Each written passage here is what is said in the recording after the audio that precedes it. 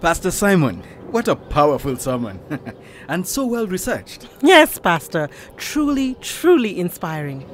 Hi, Grace. Oh, wow, what a lovely hat. They're getting grander each week. thank you, thank you. Ngugi, Kavata, thank you. From your lips to the Lord's ears. Please join us for lunch today. We won't accept no for an answer. Besides, it's the least we can do after those wonderful words. Isn't it, darling? Kavata channeled her most dazzling smile and glanced over at her husband, Goge, who caught her eye with a flash of surprise and irritation. Wait, I was just getting into that. Don't worry, we'll get back into it. But first, welcome back to A Palace for the People. I'm Wanjiru Koinange. And I am Angela Wachuka. So today we have a really exciting episode. We are sharing a snippet of my debut novel, The Havoc of Choice, as an audio experience. So this whole time we've been launching Book Bunk, and actually for years before this, Wanjiru's been writing a book. Mm-hmm. Eight years to be exact. Eight years. And before we hear this book, the first tease. Can you tell us about it? Yeah, sure. Um, so I wrote this book as part of my master's in creative writing from the University of Cape Town. But it was never really the book I meant to write when I went to, to grad school. I had planned to write a a big memoir honoring my father. But when I got to Cape Town, the most consistent question I would get from people who lived there were how we were doing as Kenyans after 07. Um, for context, in 07, Kenya had one of its worst and most historical elections um, yet. It was followed by a whole lot of violence that we really haven't dealt with, in my opinion, as a country.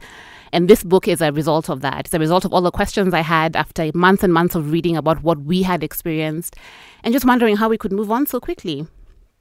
Um, what are some of the reactions you've gotten to the novel about the time that you spoke about that it portrays? I think the most um, consistent one has been the triggering of memory that it's done for people who were either in the country in 07 or people who were outside looking in at what was happening. I feel like I've opened up a scab or poked at a scab and left it open, and kind of all these people are coming back to me being like, heal me, heal me, and I don't know how to heal them. But it's also been really, really beautiful because um, the book is doing really well. Um, it's a bestseller at the moment, and the connection to characters has been one of the most special thing. People connect with all of my characters, and it seems to have been giving people, or it seems to be giving people a whole lot of voice. And so you may ask what all this, um, Wanjiru's debut novel has to do with the work that we're doing, restoring some of Nairobi's most iconic public libraries. From the beginning of this project, it was very important to us that we help to build contemporary collections. And we talked about this in episode four when we discussed the history of publishing in Kenya and in East Africa as a whole. So it was important to us that we help to cultivate the kind of work that we ourselves wanted to see on the shelves of some of these libraries.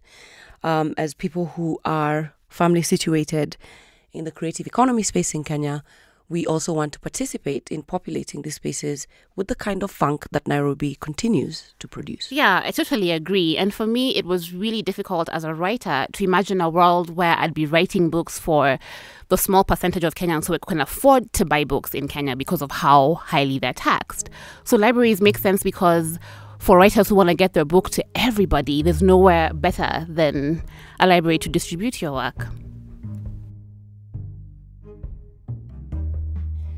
This is our last episode before we do a Q&A one. We would really really really like to hear from you. We are taking your questions. If you have a question about the podcast, about Book Bunk or anything we've touched on, you can take out your phone and send a voice note to plus 254 714 258 474. That's 254 for Kenya, 714 258 474. We'll also put this number um, in our show notes as well as under learning resources on our website. Okay, now I'm really excited to hear this.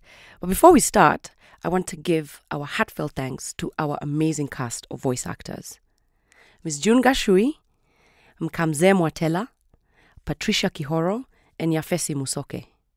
Over to you, Wanjiru. Okay, so presenting The Havoc of Choice by me, Wanjiru Koinange. Kavata had trouble focusing on the sermon that Sunday.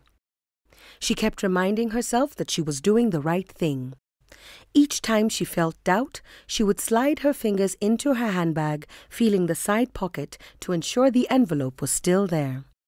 Her mind went over each detail. Then, satisfied that she had seen to every aspect of her plan, she forced herself to pay attention to Pastor Simon. She would need something to talk about over lunch. Pastor Simon, what a powerful sermon. and so well researched. Yes, Pastor. Truly, truly inspiring. Hi, Grace.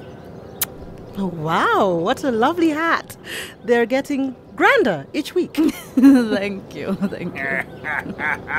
Ngugi, Kavata, thank you. From your lips to the Lord's ears. Please join us for lunch today. We won't accept no for an answer. Besides, it's the least we can do after those wonderful words. Isn't it, darling?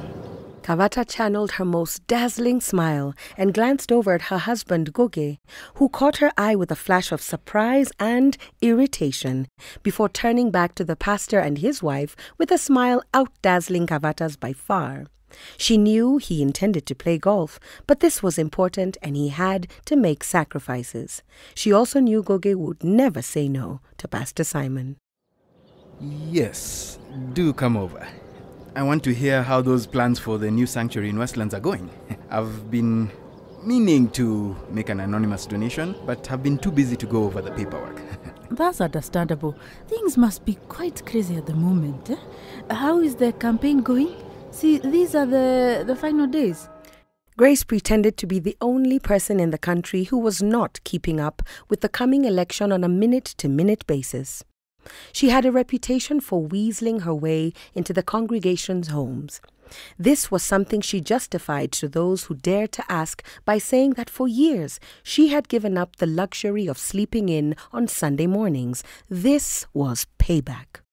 So Grace praisefully accepted Kavata's invitation. Kavata spotted her children, Wanja and Amani, headed towards them. She took in her daughter's appearance. It still shocked her that she raised such a stunning daughter. Sometimes she caught herself copying Wanja's mannerisms and wondering what her daughter would think about the shade of polish on her toenails. She was grateful Wanja still joined them for Sunday service. They saw less and less of Wanja since she realized she could have an entire life of her own after moving from home to campus housing. Oh, great. Here are the kids. Wanja, you're looking more like your mother every day. Is she really?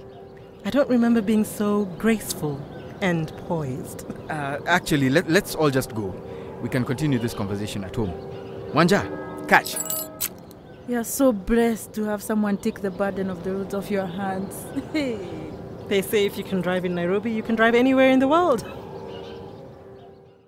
Goge liked to make a spectacle of these moments where he showed off his daughter. When she was younger, he would insist their dinner guests listen to her read the newspaper instead of watching the 7 p.m. news. He would beam and raise his whiskey glass to her when she floated over words like constituency and parliamentary. When she turned 12, he looked forward to their trips to the gun range because she would be the only child there. He taught her to drive well before she was old enough to attend driving school, and when she did eventually enroll, she was the only girl who signed up for defensive driving classes. Allah, Wanja, is this my blouse? You don't wear it, and it looks better on me. How would you know if I wear it? And when did you even take it? If you wore it more often, Mom, you'd have noticed it missing sooner. Bye. Wait, Amani, let me ever catch you wearing my clothes, eh? Okay, then, we will head home and get lunch started. Good, good. We'll be there in about half an hour. The pieces of Kavata's plan were falling into place.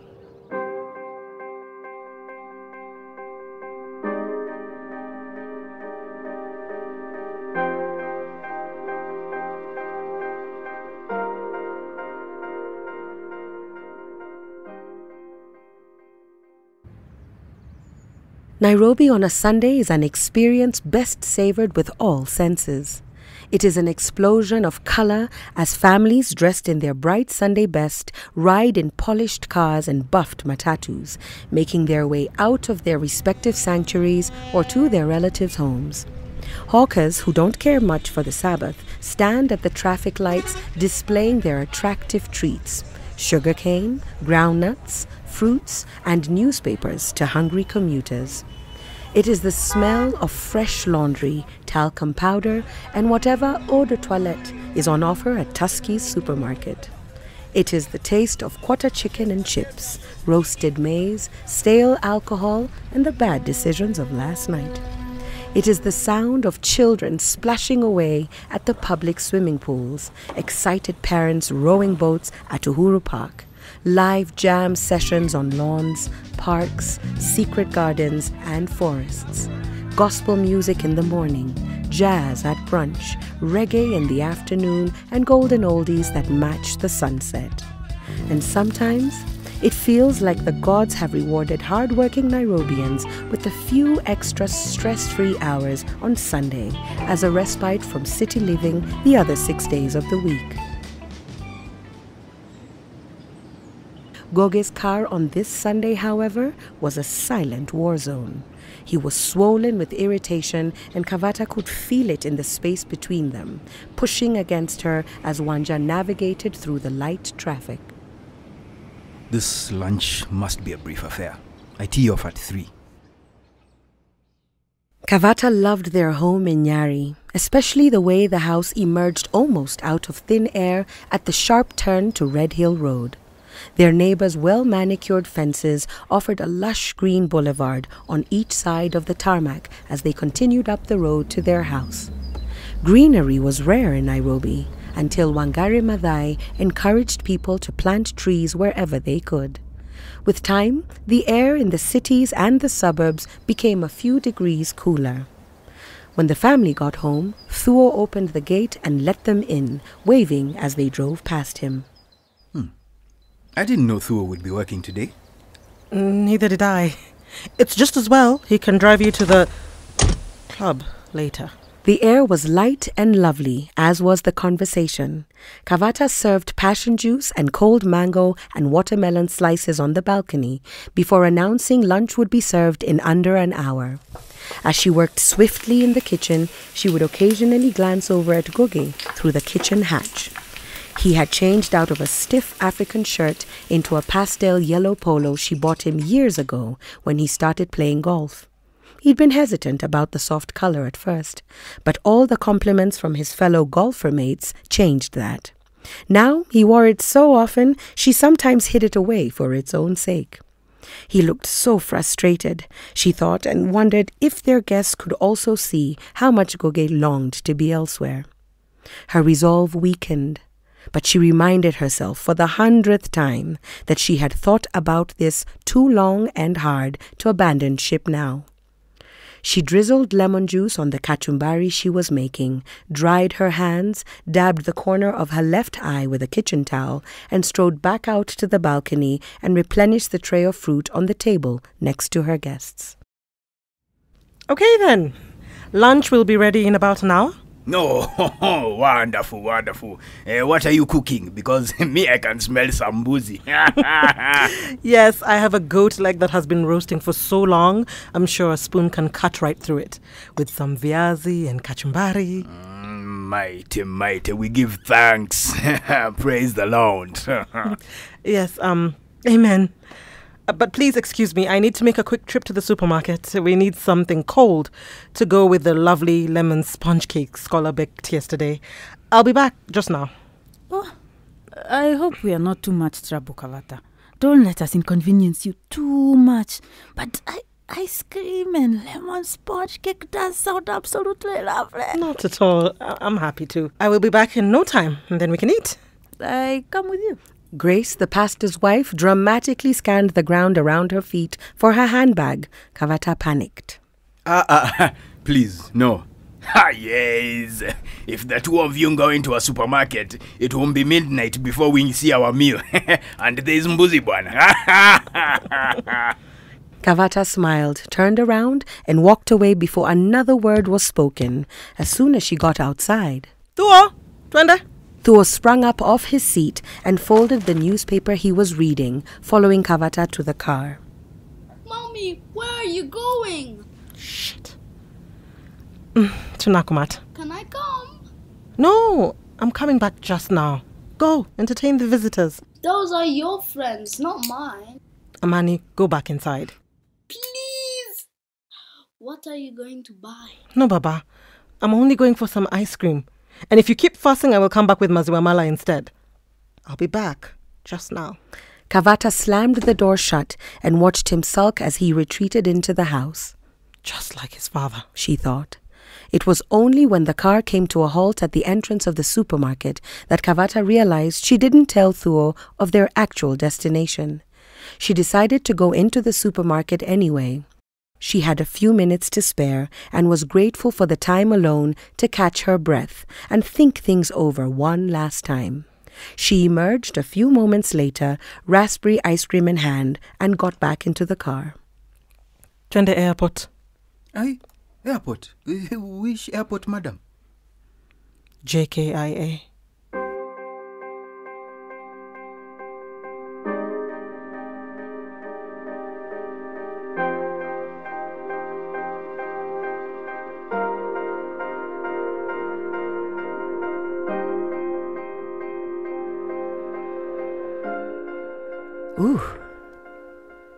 Chills, right? Yes. I mean, I know you did a shout out before we started, but it has been amazing to hear our voice actors bring this together.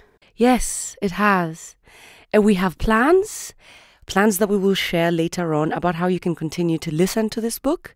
But if this did pique your interest and you can't wait to know what happens next, you can also pick up a copy of The Havoc of Choice at any textbook center outlet or online on textbookcenter.com if you're in Kenya or visit wanjirukoinange.com for more information.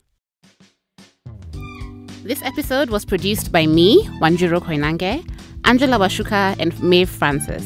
Siokar Mutonga is our lead researcher and our resident queen of fact checking. Sound design by Anthony Kiringe and Maeve Francis. This podcast is supported by the British Council. To donate or support our work, visit bookbunk.org.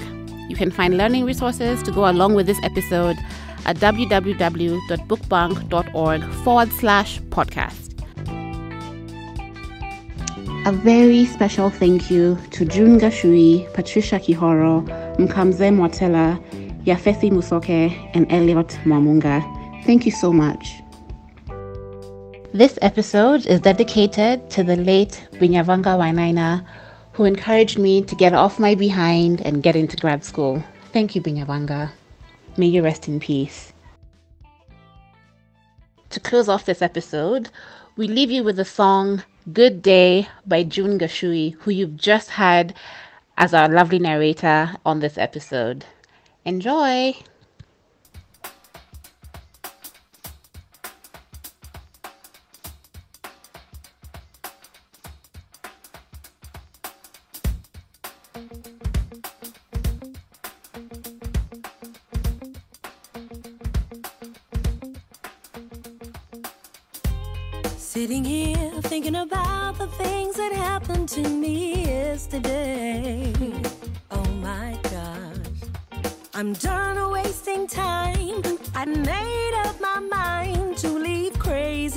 Behind and move on. So I'm stepping out into the bright sunshine and a gray cloud in the sky.